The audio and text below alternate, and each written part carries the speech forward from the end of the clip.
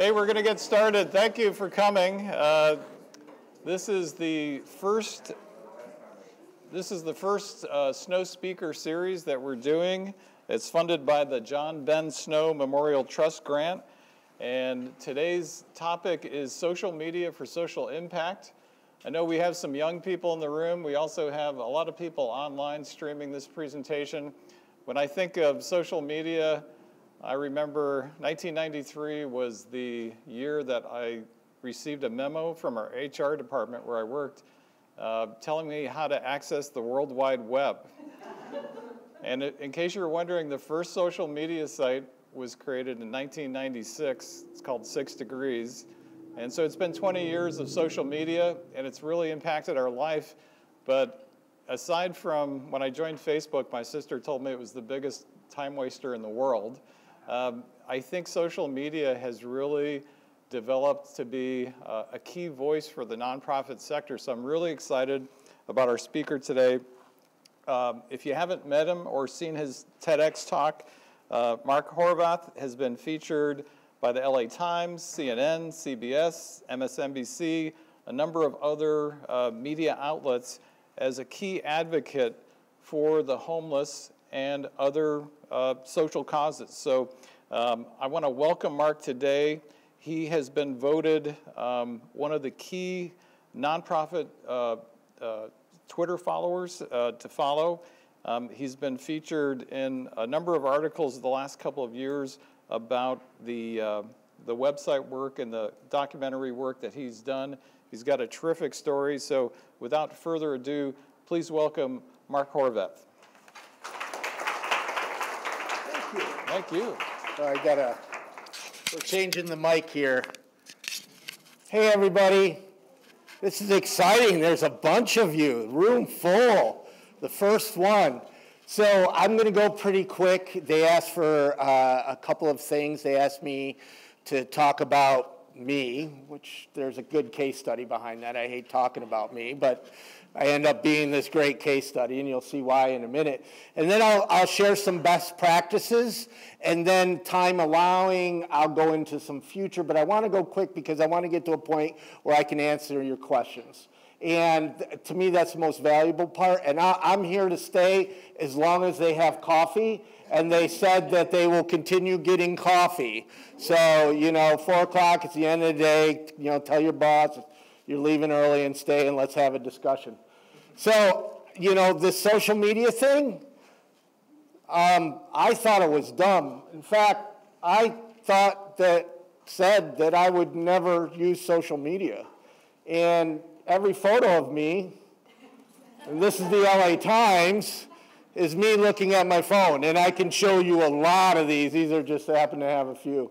So I also said I'd never be homeless. And I'm very lucky that when I was on the streets of Los Angeles, there wasn't a camera in everybody's pocket. So this is the closest to my homelessness is about six months after I got off the streets. Um, but there's another part of the story. Prior to homelessness, I had a great job in the television industry. In fact, I was one of the people directly responsible for getting Wheel of Fortune, Jeopardy, Married with Children, 21 Jump Street, the old one that nobody remembers, not this new stuff, you know what I mean? And a bunch of television syndication shows. Now, I never met Vanna White. I mean, believe it or not, it's a little different than TMZ. People actually work in Los Angeles. You know, so it was the manufacturing end of television. A lot of work, a lot of stress. I ended up homelessness, drugs, and alcohol.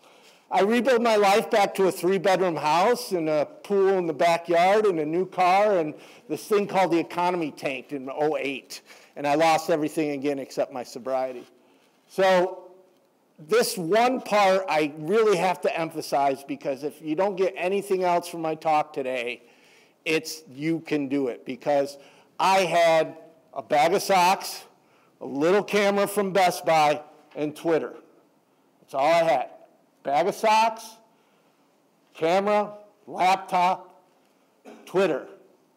And I started a website with 45 bucks. I hacked out the, um, uh, the picture. That's about as much as I know about it, coding.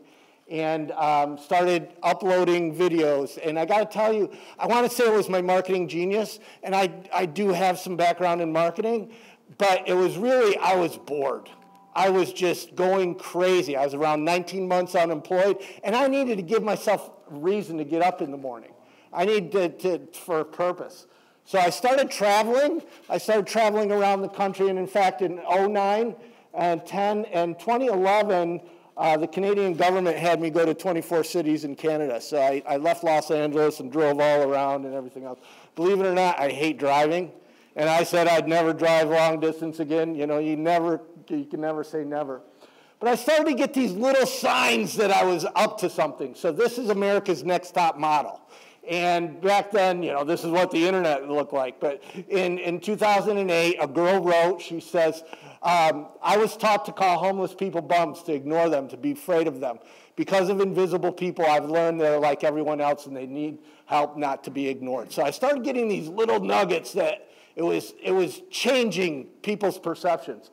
So this is Los Angeles Fire Department. Now, these guys aren't just getting cats out of the trees. If you want to look at a social media case study, Brian, who runs, uh, he's our communications person, does an amazing job. Their Flickr group, the photos, just amazing. Mark, you humble, humble us to the point our, our eyes leak. You're among the greatest examples that any of us can follow. Now, this is many years ago. And again, I'm not trying to pat myself on the back. I'm trying to show influence. Here I am with a bag of socks. House just went into foreclosure. I literally am unemployed without income and here's Los Angeles Fire Department keep saying, keep going. You're doing a great job. And this was about three weeks ago. I happened to land in LA and they said, Welcome home, Hardly Normal, with a hearty thanks for all you do. You're why we love LA. So, I mean, Los Angeles Fire Department, and we'll go into listening in a little bit. So, on the left, that's Nancy Pelosi, and on the right, that's me. Now, homelessness isn't sexy unless it's Thanksgiving. And, you know, at the time, Nancy Pelosi is Speaker of the House.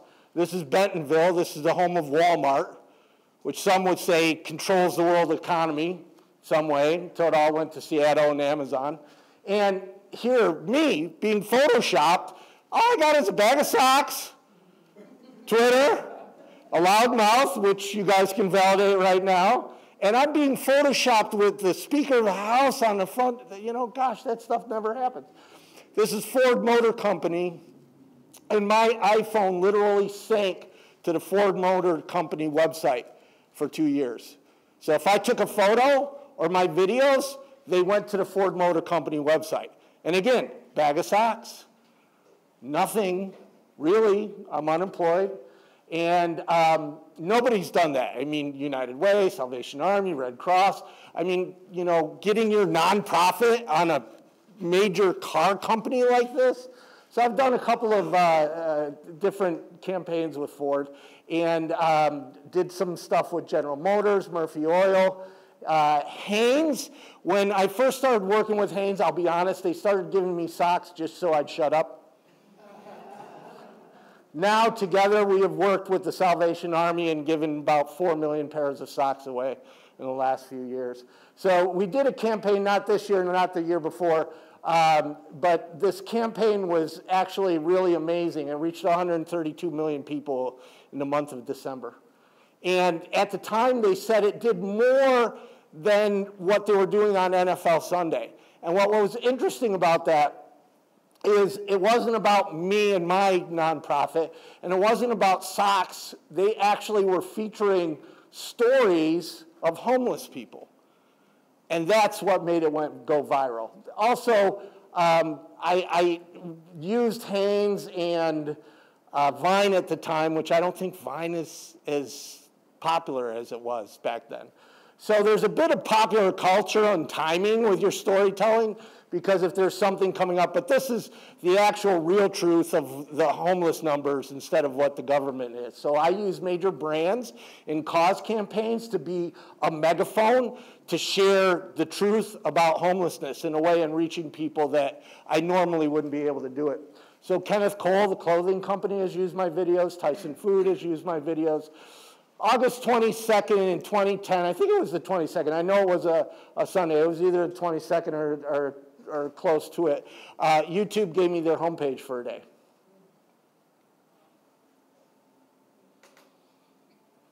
Um, that's like CBS giving you the evening, you know, 10 years ago.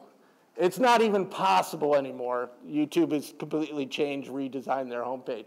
But 1.6 million people in a 24 hour period who would have never rolled down their window to talk to a homeless person had a positive experience with homelessness. And I continued to do a lot of stuff with uh, YouTube. Gary Vaynerchuk, some of you may or may not know, we did a big campaign, raised $50,000 at South by Southwest, big conference.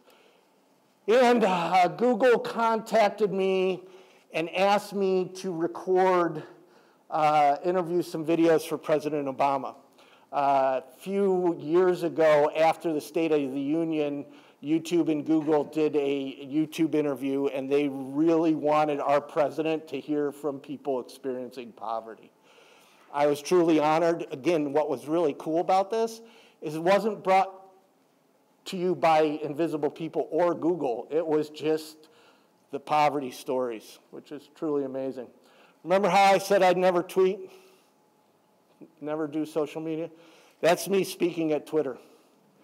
I'm the first cause to ever be invited, nonprofit, to be invited to speak at Twitter. But this is the stuff I like. So I'm in Baton Rouge, and there's a tugboat operator says, Brother Mark, we got 50 homeless kids that don't have any shoes. And within an hour, we raised them shoes. This is Don. Don is the first person actually housed by my work. There's been quite a few people since. Uh, a farmer donated 40 acres of land that's now feeding 150 people a week. Uh, to make it even better, these are kids from a homeless youth uh, organization that go and work on the farm during the summer. Uh, this video is really dark. That's because it's really late. It's Calgary, Canada, and it's extremely cold. Donnie was homeless for 21 years, and I'll be honest, at the time I was living in Los Angeles, I didn't develop my Syracuse blood yet, you know, and I was ready to cry, ready to ask the outreach workers, please, this is too cold. Take me back to the car. And we went down one more alley, and there was Donnie. And in the Calgary community saw this video, and they rallied and they got Donnie into housing. So when I did the Canadian road trip, of course, I stopped by and hung out with Donnie a little bit. This is Terry Pettigrew. Terry Pettigrew was um, homeless at eight years old.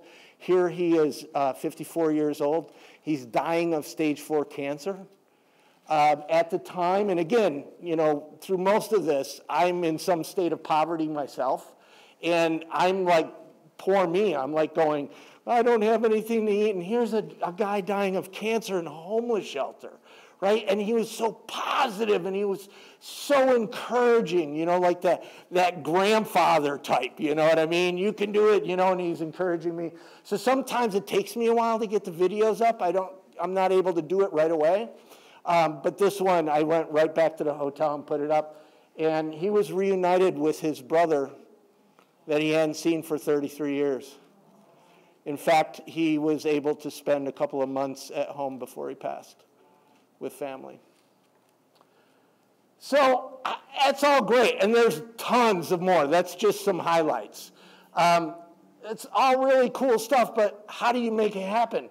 How do you do it? How does that translate into actionable steps that you can, for your own personal storytelling, your own personal brand, or your organization, or your advocacy, or your church, or whatever? So let's start with your voice. Okay, now, often it's really hard when, see, for me, I know my organization voice because I have one employee, me. So I am at all the meetings, I know everything that's going on. But so for you, what is your voice? Anybody think? Tell me your your nonprofit, and what if you're a car? What kind of car would you be?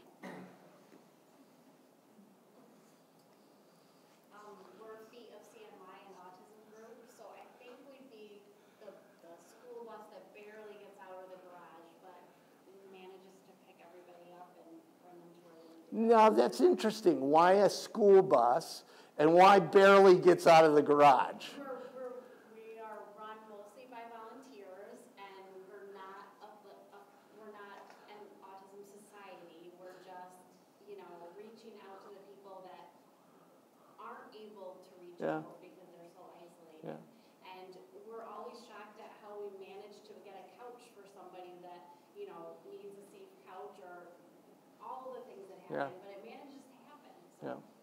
Any, somebody else? A couple people? What car would you be? Uh, I'm from the Salvation Army, and I think that we would be an ambulance Yeah, because that we're a safety net. We go out and rescue. okay, So good. So what celebrity would you be? And there's exercises like this. I mean, we don't have the time to really dive into this, but one of the things in storytelling, especially when you're storytelling for an organization, you get self-conscious. Oh my gosh, what if the CEO sees this? What if, you know, what is this, you know, going to be like when other people see it? It's easier to share your own personal stuff on Facebook. The other thing is you have to have a unified voice that let's say if you have a lot of staff members, maybe you're sharing like we did at the rescue mission, there's several people that have access to that Twitter account. So would you be George Clooney? Kind of cool, you know, activist? Would you be, you know, Kanye? I won't go into any description there. Uh, you know, Lady Gaga, you know, I, I think the world of Lady Gaga. Um, also very much into philanthropy. Anybody? I mean, it could be any sports star, any celebrity, any. What would your organization? What, what's the voice? Have you ever thought about anything like this to develop voices for your organization? Because it is important. I'm coming from a one-man shop, and I think, so I was, I, I, I was really good about meetings. Um, and then it was up and trans, transitioned into a, a, an institution uh, with a, another community college. So the voice before was a little bit, you know, could be like maybe Anthony Bourdain, you know. Yeah. where, uh, Yeah, you lean in, but, but, you know, cheerful. right. Like, like, like, like I'm not hungover yet, and, um, like getting hungover. you know, Yeah. Um, and now transitioning into where like, other people have to have administrative roles on the on Facebook pages, where Yeah. I'm trying to figure out how can they have, where, how does my voice change, how does theirs, you know. So, you know, key messaging, mission statements. I mean, how many of you can even repeat your mission statement? How many of you have a mission statement that you actually say in public? Most mission statements are these big, long things. You know what I mean? That work great on grants and academic type writing. But when you're standing in line with somebody at McDonald's or you know, wherever you'd be standing in line, you don't say that. So Guy Kawasaki does a big thing about mantras instead of mission statements. So for me, it's changing the story of homelessness. Invisible People is changing the story of homelessness. Really simple. So that type of messaging, what your voice is, what the messaging is, also as an organization, are very, very, very important. So another thing that I, I hope you can remember and this is actually a principle of Alcoholics Anonymous, is attraction rather than promotion. So often nonprofits on social media are saying, look at me, look at me, look at me, give us money, look at me, look at me, give us money. Come volunteer, look at me, give us money. Hey, there's a bake sale, look at me, look at me, give us money. Give... How do you build community? So then you say, oh my God, see, I get a little passionate here. You guys got to bring me back if I go out on. So, uh, you know, you can fundraise on social media. A lot of people say, well, I'm not getting the impact because you're not building community. If you're just going, look at me, give us money, look at me, give us money, look at me, give us money, people aren't going to engage with you. So you have to be attraction rather than promotion. One of the best examples are this is the best hot sauce. Everybody agree? Do you know they absolutely do no marketing? They don't have a Facebook page. They don't have a Twitter. They don't even have a web page. Because of word of mouth and a great product. If you are in the community and you are doing a really good job, people are going to talk about you. And that has to be the core of your storytelling. Now, I wouldn't go drastically of no web page and no marketing, but I'm just trying to use it as an example, is you got to create a value exchange with people. A value exchange with your donors, with your supporters, with your volunteers. You have to create some kind of worth between you to build that community. So, how many of you have had a family member or a coworker, if they're here, don't point them out, um, that only talks about themselves? Right? So you look at your average nonprofit Twitter stream or Facebook, they're only talking about themselves. And what do you do? See ya. I'm not going to listen. Oh, they're just talking about themselves. So a way to, do, to build that community is find maybe current events, maybe some other content, maybe share a competitor even that you might think in the same sector. Because let's face it, you know, just one nonprofit is not enough to cure everything in the world. And there's this interesting thing I'll go in later on the law of reciprocity. But you got to look at your Twitter stream, and if you're just talking about you, if your social media is just talking about you, you're not going to build the community for that asset to be a benefit. You have to work backwards. So, what is it that you want? What is the end result? So, like for instance, recently Instagram did Instagram stories. And I bet you a bunch of people jumped in and said, We got to be there. We got to do Instagram stories. We got to do Snapchat. There's billions of people. Why? Why? You don't have to be everywhere. Here's a little nugget you create the least amount of content that will produce the most results. And the results have to be from, you know, in line of whatever your, your strategy. Social media without a strategy is a trick, not a tool. And so, what is that success to you? Now, how many of you saw Puppy Monkey Baby? Some people didn't, so I added the video. I usually only add play the video when I speak internationally. So I apologize. I actually like this spot, but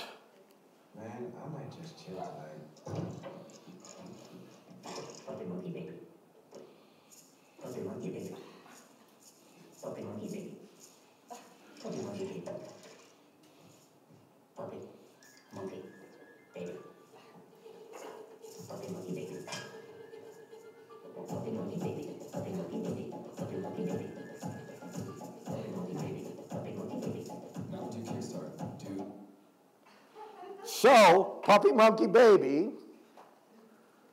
got a lot of buzz, got a lot of attention. Did you go buy Mountain Dew? Have you tried it? Anybody? I have yet to find anybody that has tried it.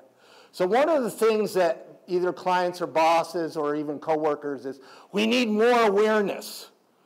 They didn't know about us. Oh my gosh. Well, awareness does not equal love. Just because somebody is aware of you doesn't mean that they're going to support you. It doesn't mean that they're going to engage with you. And often people will tell you that they, so you meet somebody and they tell you where you work, and it's easier to say, oh, I've never heard of you than, gosh, I've never donated to you. So you can't just go by that. But the big point is a lot of times just people want this volume of impressions. They want this, oh, we got to have billboards, we got to have radio, we got to have all this other stuff. We got to we got to make people aware because when they hear all this great stuff we're doing, Maybe they're supporting the Salvation Army. Maybe they're supporting another good cause. Charity Water is one that I support. I love the Red Cross. There's a lot of great causes that you support. You're never going to get 100% market share. So what my point is with your strategy when you figure out what the success is, then you build your audience to where a target audience is. You don't just go, "Oh, I want to make everybody aware." You want to make the people that are going to support you aware. So um, this is Natasha. And Natasha was, this video was literally recorded on this phone. And I didn't plan on um, storytelling this evening. I had just landed in uh, London. My head was pounding from um, jet lag. And, well, let me just play the video. Natasha, you're homeless in London. I am. It's raining out. It is. Where are you going to sleep? On the streets, unless I make twenty-four pounds. And what's 24 pounds going to get you? Get some hostel the night. The, it, it, it, hostels cost? Hostels cost, yeah, unless you get a hostel from the council. Oh, so then the council pays for it? Yeah.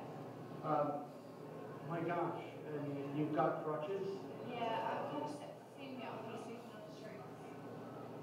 And now how long have you been homeless? I've been homeless for four years.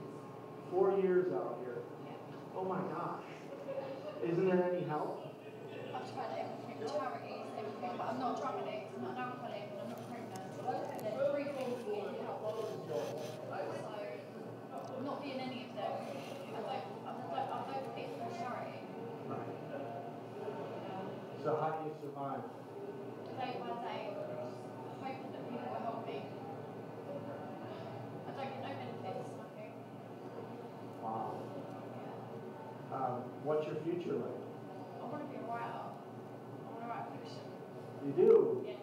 Not true life, don't want to depress people. Well, you, you still have a great smile. So, and um, uh, what are you doing? To, are you writing? What are you? I write every day, I write every single day. Oh, Yeah. great. Yeah, I've been in hospital, I was in hospital for like three and a half weeks. Okay. So um, I did a lot of writing. Wow. I, if you had three wishes, what would they be? What would they be? Right. Just to have somewhere to live. Just, just the tiniest little place to be would be a palace. um, to be able to get my leg better now so that I can get a job. And basically, to be looked at like a person Well, thank you very much for talking to me. Thank you.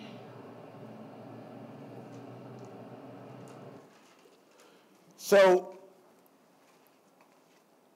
this type of video should not work, right? Because, you know, typically in the nonprofit space, a video is about $1,000 a minute, you know, that you would pay and have this nice produced video.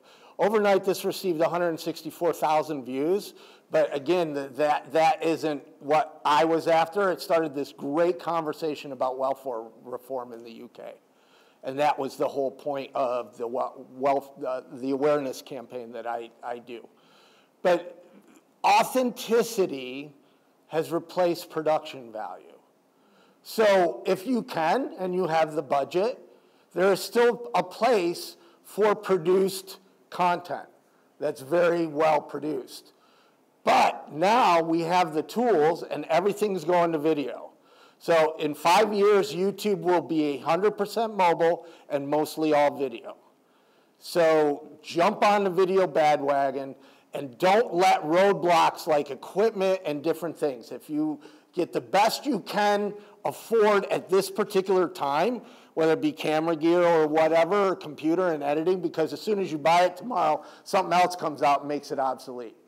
And so my video storytelling is raw and edited, and that happened by accident just because when I lost my house, I lost my video editing computer.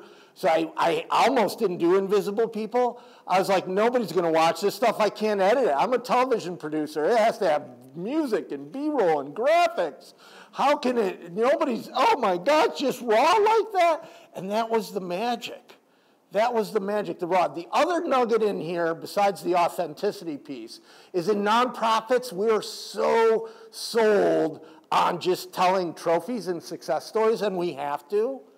And that validates the work. But if you also share of people still experiencing whatever crisis that they're going through, it builds empathy that you must do that work. But it's all broken. Marketing is broken. And there's new stuff coming in to break it even worse. And that's because of us. Us, us marketers. We messed up radio, we messed up TV, and we're messing up social media. So pretty soon, ad blockers are going to be so popular. So most of the stuff that we're doing online, digital storytelling, is not going to be seen. Here's just some stats. Some of these are about a month old. Some of these I grabbed last night. 94% of online viewers skip pre-roll ads before five seconds have gone by. I mean, I don't know if you guys use a consultant, a fundraising or marketing consultant, but they might be telling you, oh, you got to do YouTube pre-roll ads. Most people skip them. The click-through rate is only 0.06. Ad blocking grew by 41% globally in the last year. At least 419 million people, 22% of the world's 1.9 smartphone users are blocking ads on the mobile web. 12% of display ads are never even seen by human, translating into 18.5 billion in ad spend waste in 2015. Those are ads that we're buying that nobody's seeing, but somebody says, "Oh, look at these impressions. You're doing great. You need to be on digital. Look at all the people." Um, about 50% of clicks on mobile ad are accidental. I, that happens to me a lot. I'm reading something and I'm like, no, yeah. You know, I hate it, but you know, then you know the people that are selling the ads or the agencies that are selling you the ads. And I'm pro agency. Don't get me wrong. You just have to really monitor what's going on because they're in the business of selling you this stuff. Um, 54% of users don't click on banner ads because they don't trust them.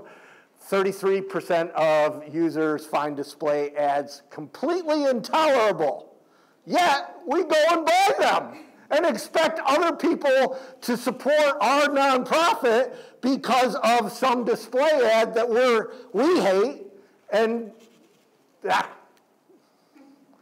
so, the other thing that is very important is if you're putting all your assets online, if you're putting all your assets on social media and they make a change, you're powerless.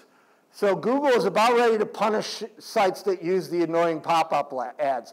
I don't know if you do, but a lot of people use sign up for our newsletter, which is not, that's a perfectly fine use of a pop-up ad, but it's soon, you're gonna not be able to use them.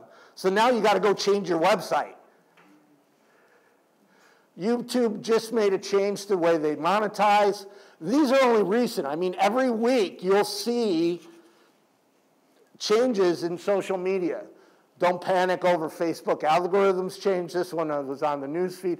And this one was just yesterday or today is that uh, Twitter is finally going to go to the longer tweets coming on the 19th. This messes me up because I have over 500 blog posts already programmed for a shorter tweet. Now I got to go and either do it myself or hire somebody to go in and do all this stuff to change it all around. And my point is do not build your sandcastle in somebody else's sandbox.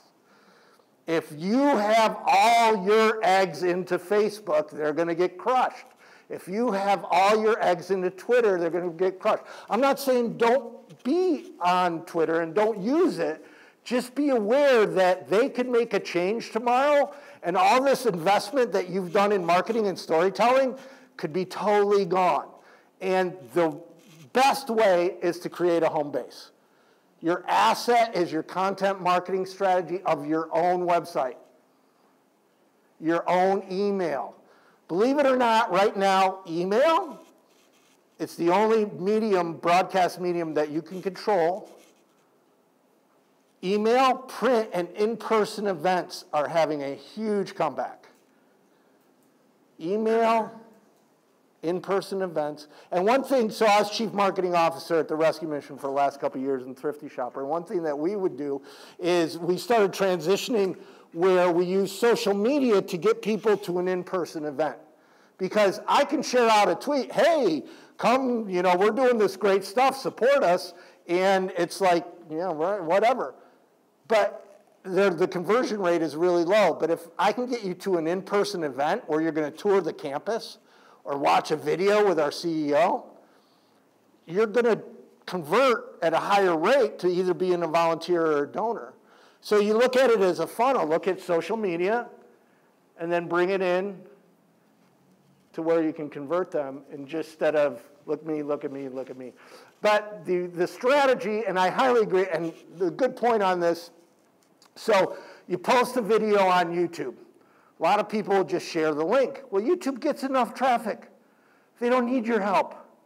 What you do is you embed it on your web page and then send a link of your web page because that's where you collect new names, new names, new names, new names. That's where you get emails, that's where you get donations. You don't want to send people to YouTube, you want to send them to your site to watch. And that is the outpost strategy, and thanks Chris Brogan. Uh, he is the original person that came up with this and posted about it. So here's all your social media whatever you may be on, whatever you decide, and that's your asset. You control that. So if Facebook makes a change, you still have your stuff. If Twitter makes a change, you still have your stuff. But the outpost strategy, where you use social media to engage with people, but also bring them in to your home base, is one of the, to me, it's the nonprofit strategy. Become a media company. Gary Vaynerchuk is great at this. Union Rescue Mission, they increased their online fundraising by 500% by doing these stories from Skid Row on video. And so, so often we'll produce a piece of content and that's it. But think about it in episodic. Think about it in story. People want more. Bring them down a path. So, Stories from Skid Row is a monthly video that's highlighted on iTunes and their website. Gary Vee, ask Gary Vee. He just rocks these videos out. But it's a continuous, just like you would, you know, Seinfeld or MASH or all the stories, long form. Um, everybody will tell you that YouTube, eh, they people drop off, and they do. But those aren't the people that are going to support you. So here's Motor Trend, um, and this is from when they got their first billionth view. And they wrote, I think one of the biggest one, uh, they're asking what mistakes. I think one of the biggest one was not giving YouTube crowd credit for being mature enough to consume real, meaty, and authentic content. In the early days of online video, there was the false belief that videos would only be successful if they're short and simple. Time proved that to be a misconception. I think we really started to hit a stride on YouTube when we began to produce longer form videos. Mobile. I will never produce a desktop experience ever again in my life. If I have a client or a boss that wants that, that might change, but I will never, it, will be mobile. Everything's going to mobile. Uh, I highly recommend watching 60 Minutes or any type of story. These are the expert storytellers. When I first started producing TV, all of a sudden I was executive producer of a, of a network show, and I, um, didn't really know a thing, and the CEO grabbed me and he said, Watch 60 Minutes, take notes, and then watch infomercials because they're, they're the best at getting you to respond to something. Call now, call in the next five minutes. News is also really good at storytelling because they have to run and gun. They're shooting at five o'clock that fire, and they've got to be on the air by six. So they take shortcuts, and both if you watch 60 Minutes infomercial and news, you will learn all the tips of storytelling. The lean in effect. You want to create content where people want more. So, one of the reasons the police chases work so well in the big cities is people wait. They want to see what happens at the end. It's the lean in effect. So, you want to create, you know, when you're posting that photo, you got to post it in a series, again, with the episodic. So, how many of you seen this show? Right? Yeah? How, how, how long is the good stuff? Six tissues worth. Six tissues worth? That's the best answer I've had since I've used this example. Right?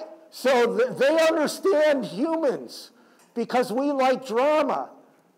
It's 55 minutes of drama and five minutes of feel good. Yeah, in our storytelling, we do all feel good, and we forget that people are attracted to that drama. It's okay. And I know it's, it, it's a learning experience and a progression to have an organization allow some of the challenges. I know at the rescue mission, we would start getting some really high engaged social media engagement, a lot more traffic when it was somebody trying to get sober than it was somebody just being put into housing. So don't let those stories scare you. If you can, and, and I'm going to try to tie this all together if you can do episodic stories that help show a journey that both of the victory and the struggle to get there, that is the recipe for storytelling gold. 76% of marketers feel they know what their customers want, yet only 34% have asked their customers. So important. We all, you know, think we know. We're marketing to ourselves. Well, I don't like blue, so it's not going to be blue. Well, people might like blue. And listening. I was landing in the Frankfurt, Germany airport, and I said, I hope they have coffee. And the airport responded to me, Welcome at our airport. Obviously, they're learning English a little more. Um, here are our coffee locations. So about a couple months back, I was landing in Sweden, and I love this one because they're using GIFs, which drive me crazy because I don't know, the internet is turning to all that stuff. Um, well, hello there. Uh, one of my favorites is I'm, I'm, I'm in a suit and tie and I jumped onto a Virgin train. Not sure, but it all may be a dream. And Virgin responded, Should we pinch you to make sure? And then a friend um, said, as they say, photo or it didn't happen. Suits are sexy.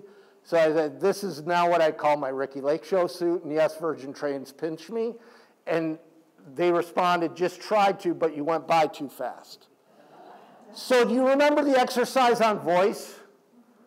This is perfect, or near perfect. Because Virgin is a little bit of a snarky brand, and trains, their, their, is to get there on time, to be the fastest train. So they responded perfectly or near perfectly. And I did show a picture, and then Ricki Lake shared it out. Um, I used to do this a lot. I don't do it a lot anymore. I know a lot of people, they, they, they search on tags or whatever, but I just search the word homeless. And, you know, you get a lot of people um, uh, that uh, I sometimes I, I fight myself that I from responding because they get me mad. And I've made great connections with people that I never would have met if I wasn't searching. But this is one of my favorites. So this is a mommy blogger. Now, mommy bloggers were a really big thing a couple years ago. They still control trillions of dollars of spending in the United States economy. So they're still a big deal. But this is a mommy blogger in Salt Lake City, and she says, Have you ever made a paper plane out of a $5 bill and thrown it out a car window while passing a homeless guy? Me neither. So I didn't say, You rotten woman. How could you say that? I played with her. I said, Please let me know what street you'll be throwing the $5 bill out for the homeless, and I'll make sure I'm there to catch it. And she said, She responded, Great. Why on earth would I throw a $5 bill out my window to someone who's not following me in Twitter? So now I send her a link, and now she starts backpedaling. Are you a homeless guy with a wireless laptop, or did you Google those links? It's true, they did help my heart. And then she's going on and on. I said, It's me. I sometimes search the word homeless and I engage if interesting. You were. She went on to create a website called $5 Paper Airplane, where she went out and she folded up a paper airplane, a $5 bill, and handed it to a homeless person and, and did their story on her blog. Now, she hasn't, she's got kids and she hasn't kept it up in years. It's kind of an old example, but it's such a good example of listening and engaging. I, I still use it. So, five minutes of time, zero marketing budget, and she's doing my work. And now I'm engaging in her network. And this could work if you're selling pizza or if you're advocating for literacy or whatever your cause is or your business listening and engaging people. And storytelling is two way. So I'm going to really quickly, because I want to do questions and answers, go into a little bit of the future because I think it's so important uh, where everything's going. Things are changing. There's so many examples that I use, but this is probably one of the best. It's the first time in history that mobile has surpassed desktop. Um, in a given day, because people multitask, they have decided that 31 hours and 28 minutes are in a given day. Because I can be on the treadmill and I could be listening to a podcast. So there's 31 hours and 28 minutes. And this is from the Bureau of Labor and Edison Research, and a lot of really smart people figured out that we have 31 hours in a day. I wish I had 31 hours. It still wouldn't be enough time. So here's this attention. And what it is, Gary Vaynerchuk talks a lot about return on attention and attention. What we're fighting for is somebody's attention. And so this is what amount, and if anybody wants, I can send, send you this deck with all this information. There's a lot of great stuff. I only put, picked out a, a few slides. But this is what we're fighting for, is the people's attention, whether they're watching TV, looking at the screen, doing everything else. So time spent on major devices, video is growing. Video is going way past social media, and it's going to continue to grow. So if you don't have a video department, and a video department could as be as your phone, but you're starting to put video into your storytelling, you need to start. So messaging, WhatsApp, Facebook Messenger, WeChat are the fastest growing. So I don't know if it's going to be five years, I don't know if it's going to be 10 years, but the email and everything else, it's going to be messaging. It's how you're going to be interacting on messaging. It's going to be 1.1 billion users by 2018. So KLM now uses Facebook Messenger for boarding passes, flight info, and customer service. Facebook Messenger, and this is just from this week, now allows payments in its bots.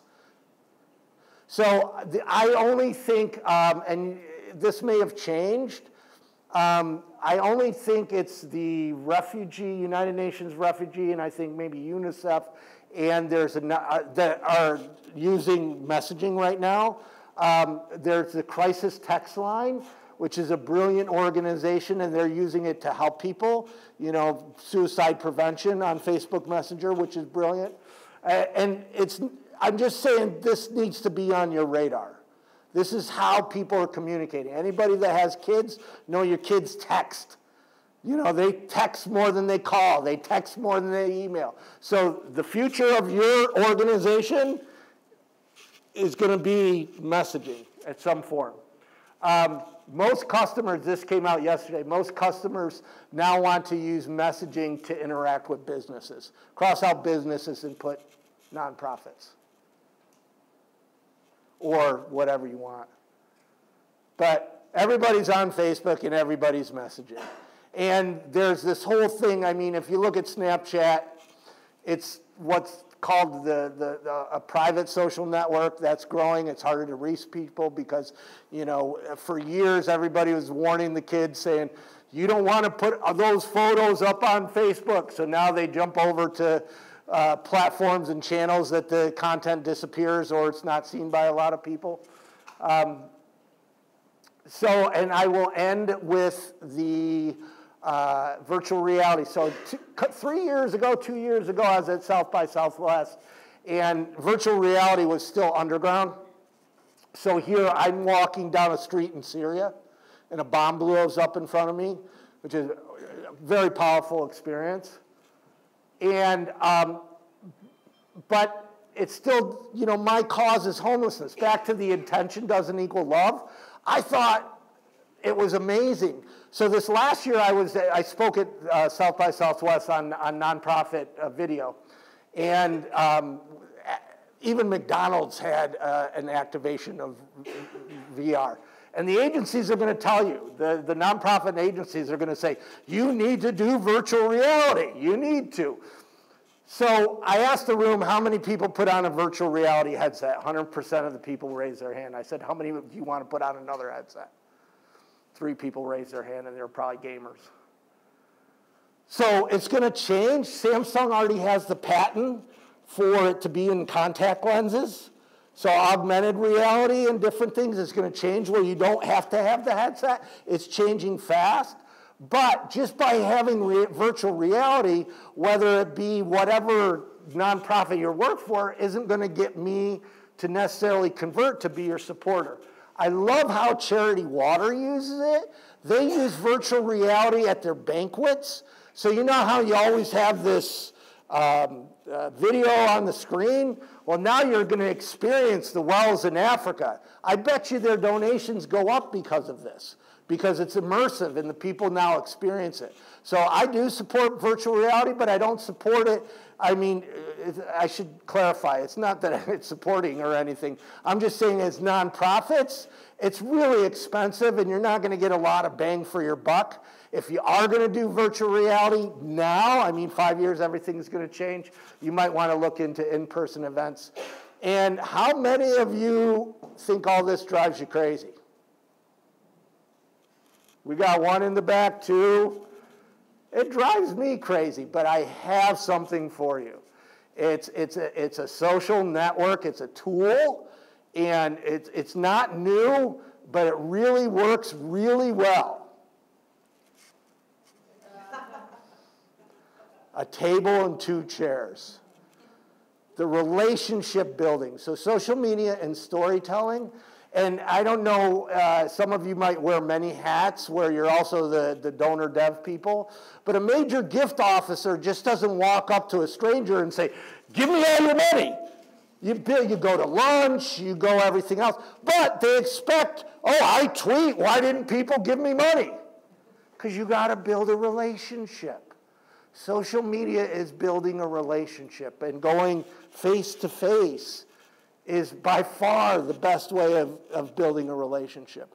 I, I believe you should be on social, but you should be using it in a way where you're saying hello to people and sharing information and engaging and providing worth to them, and then bring them in for an event, and then you know convert to whatever your success and whatever your goals are. So that's it for me. And I came in faster than I thought. Any questions? Come on, you guys got to have tons of questions.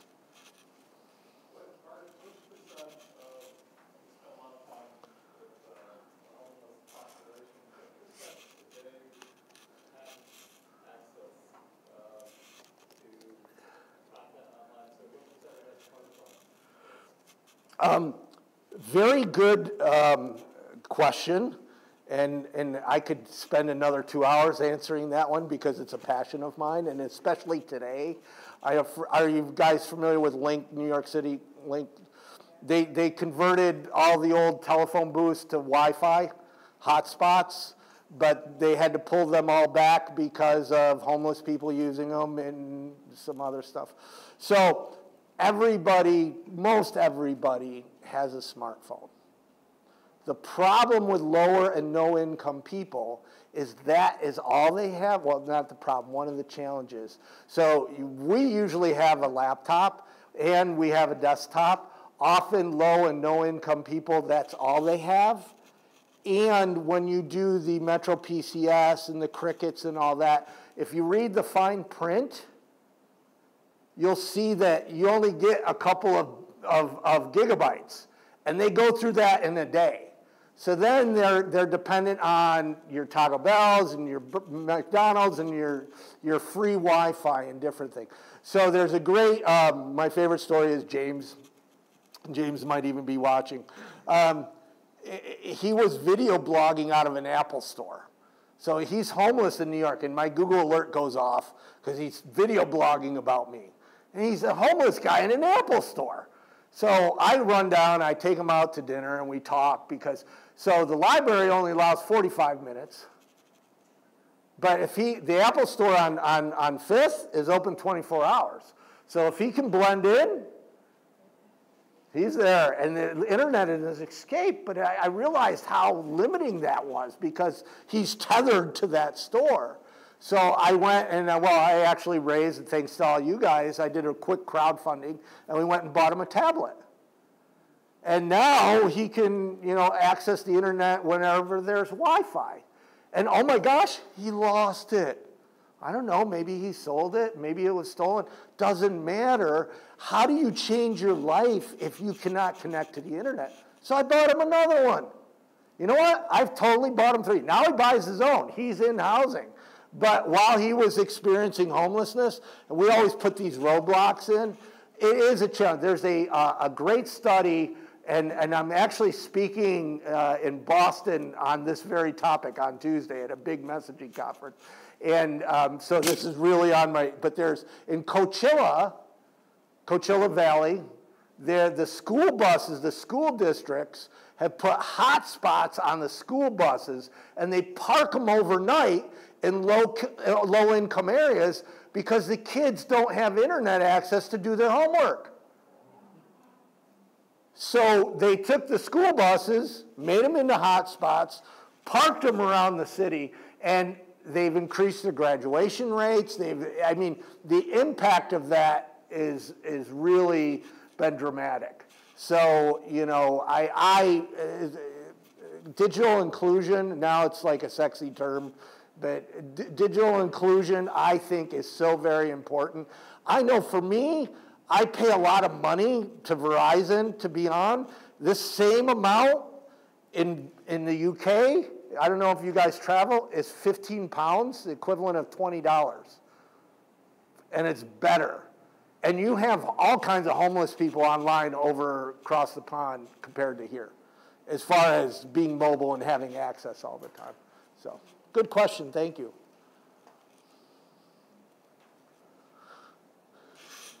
You mentioned you have 500 tweets ready to go. what's the strategy there? 500 tweets. Oh, no, so, okay, so, yeah, it's great. So, um, uh, on Kivi's uh, nonprofit marketing blog, I just did a guest post that it sp- speaks on this. So, I'm a one man band, and I started using a service called Meet Edgar. So, Meet Edgar allows you to store libraries and then you schedule them out. So, like your evergreen content, um, sign up for our newsletter, that type stuff, you can build libraries. Um, for me, it was all these posts. And, and, and it's kind of like repurposing content or rescheduling or reusing. Often I would put up a story and I'd, I wouldn't share it again. Well, you might not have seen it. So what I did is I went in and there's something called Click to Tweet. It's a little plug-in. So I wrote out on all the all of my blog posts, click here, and it will populate on Twitter. Well, now that whole strategy comes September whatever is I've got to change it. I got to fi- first go in and figure out how it is. So, a quick tip I didn't add, but this is a freebie. I'll give you two freebies actually. So, when something new comes out and there'll be a new tool tomorrow, get your username. Even if you don't use it, and you shouldn't be everywhere. Pick one channel, do it well, then move on to another one. Trying to be everywhere is crazy.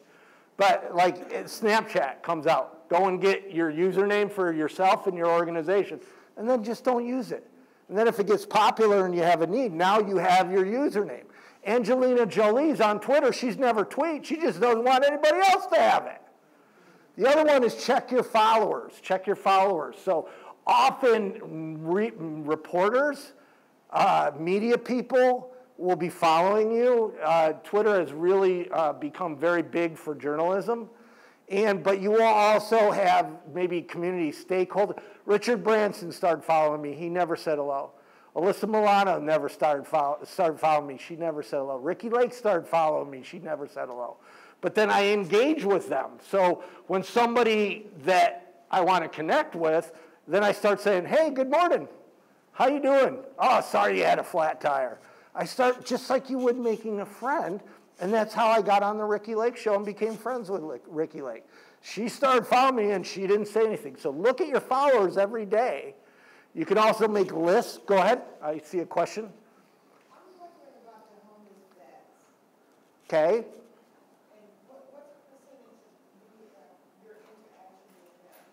With homeless vets, so um, our country has done a very good job in the last couple years of eliminating or reducing homeless veterans. Um, they have what's called a functional zero. I don't necessarily agree with this model in principle, but it's basically that our community is now ready to, we have somebody in house, if somebody becomes homeless and they're a veteran, we can fast track them into housing. So it's not that they've ended veterans homelessness, they're able to end veterans homelessness. It's a very good thing. Um, it's interesting, and I could go into a lot of the different political reasons, but our president said we're going to end veterans homeless. What happens? Everybody starts jumping. That's a good thing. It's got to come from the top down, but you end homelessness, all homelessness at a local level, you know, because every community is different. One of the things that I got to tell you, being now a Syracuse resident, is you have a very engaged continuum of care and coalition. I'm, when I have time and I go to the meetings, you have all the stakeholders there. I go to other communities, and there might be one or two or three or four that are there engaged. You have everybody there, and that's very encouraging. So to give you actual numbers, I don't know. I think uh, HUD just released something, 44% uh, reduction in homelessness and all that. So we've done a lot better.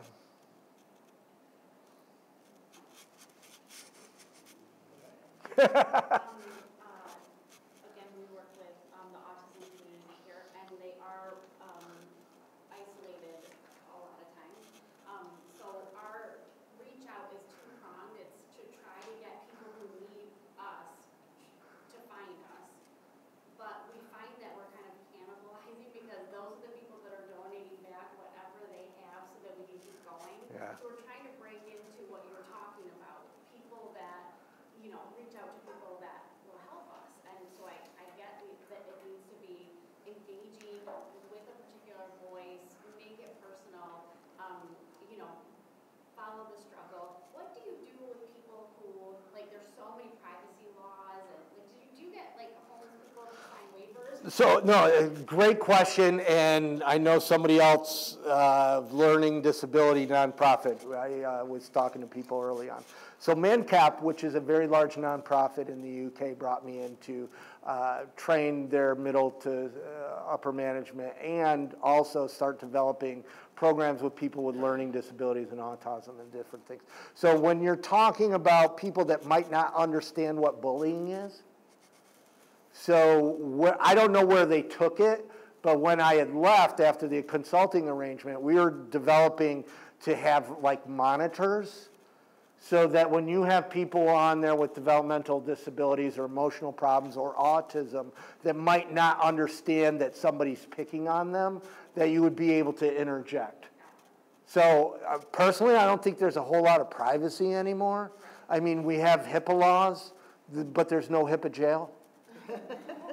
Nobody's gone to HIPAA jail, I don't think. Yeah. I see what you're saying, actually, because we worry as, like, people who, uh, you know, we're five one C three, but we're just Yeah. moms and dads who, if somebody comes back and say, hey, you used, I saw my kid on your video, Okay, so you're, you're so here, and it was very tough for me because I really wanted to do a section about ethics. Um, and so right now, I, I mean, legally, if you take somebody's picture in public, you can post it. Um, so that, you know, that's the issue. who have people come to our events that's like, you know. Right. Everybody has to develop whatever personal policy it is. So legally, if a parent gives permission under 18, it's good. At the rescue mission, the CEO, Alan Thornton, wasn't comfortable with that. So we developed our own policy. When I went and researched, like most people in communications, I just want to cut and paste your policy, make a few changes, and have mine. But there was no policy for children and photography that I could find. I mean, there wasn't a lot. I mean, there was some for different Africa. So it, it depends on your organization and where you are and your comfort level is. I personally have uh, a lot of times in nonprofits, we use need based imagery. I think that's hurt homeless services. You know, I get it. In fundraising, we're going to, hey, this person needs a meal, you know, so let's use a starving kid. And now we portray homeless as being helpless.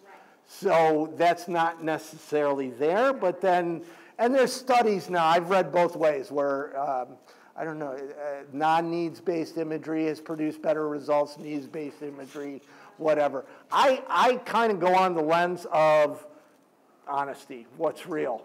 You know what I mean? I think we're going to see a transition as the older generations that are very motivated by direct mail and that imagery starts changing. The younger generations, the millennials, by the way, they're not aliens, they're just young.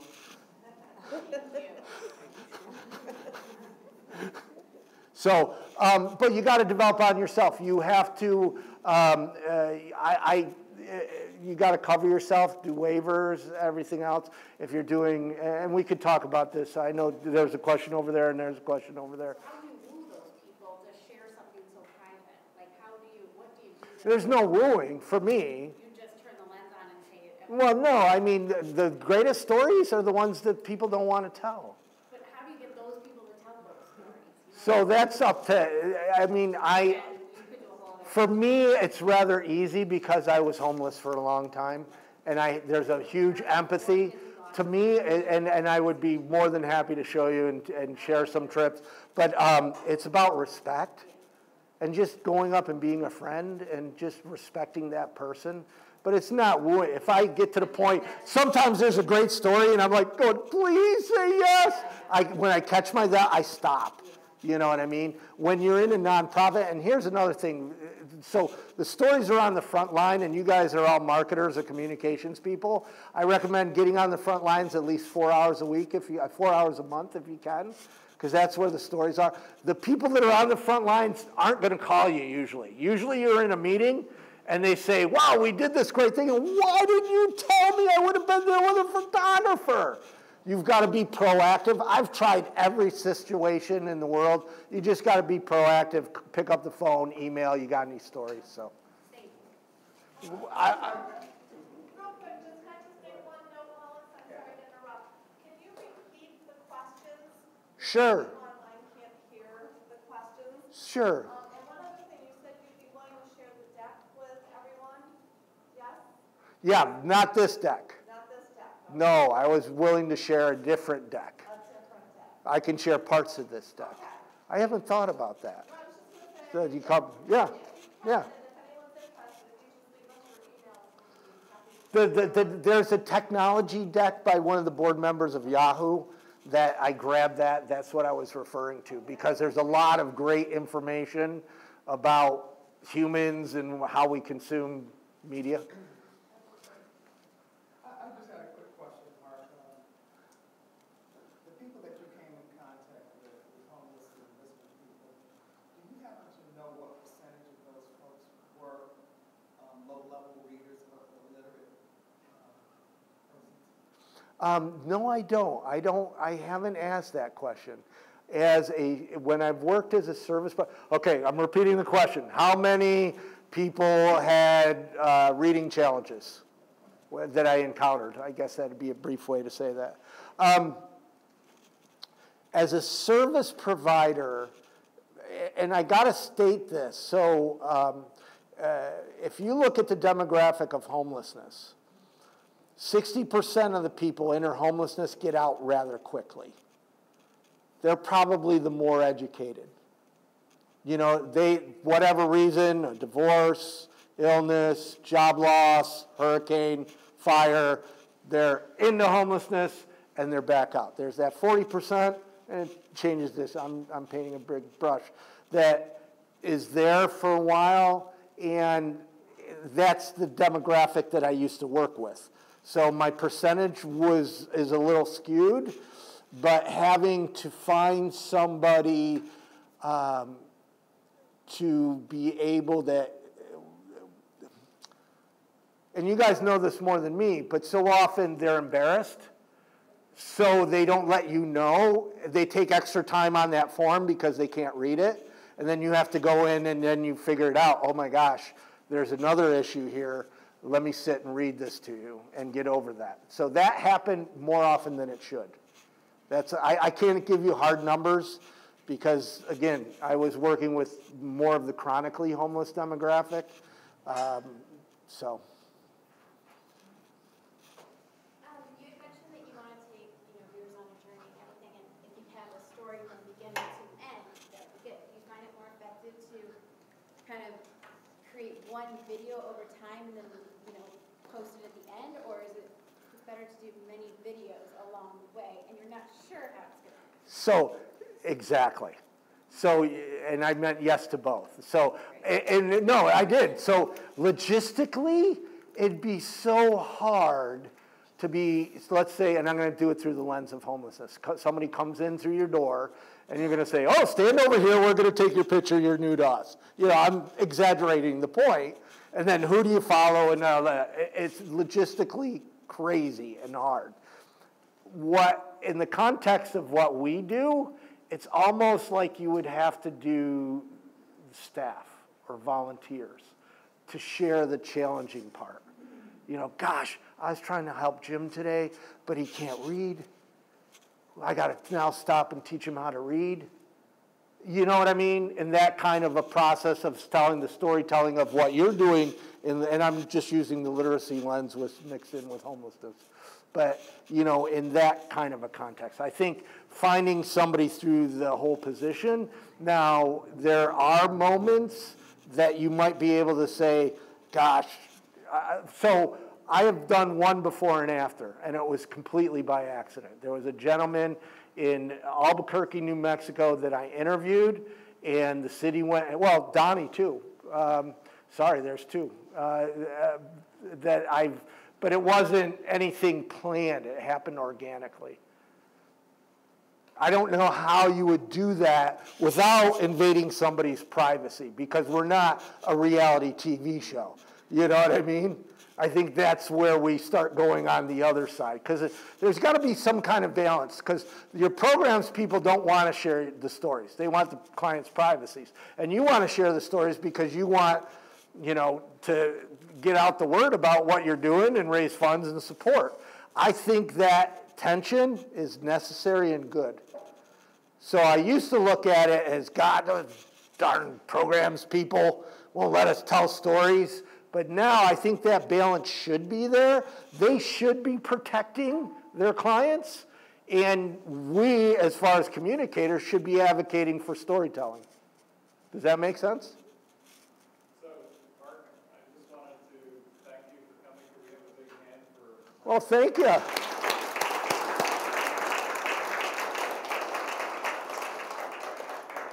think as long as we have coffee, we're gonna stick around. Yeah, as long as you have coffee. Uh, If anyone has any questions about Dr. Mark, please uh, stick around and help yourself to all the coffee and cookies Yeah. we have out there. Thank you very much. Now I recognize you. I got, you got huge compliments yesterday, we aired it. Yeah, I know I was there. You were there, I didn't even see you. Did I see you?